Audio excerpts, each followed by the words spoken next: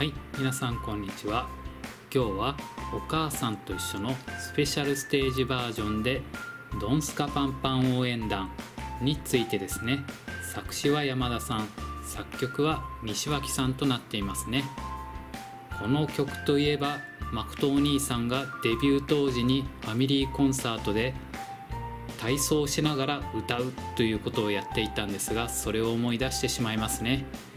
今回のスペシャルステージでは誠お兄さんが体調不良ということで手を振っているだけというちょっと残念な結果にはなってしまいましたが誠お兄さんの頑張りみんな見届けることができたんじゃないかなと思いました。はい。今日は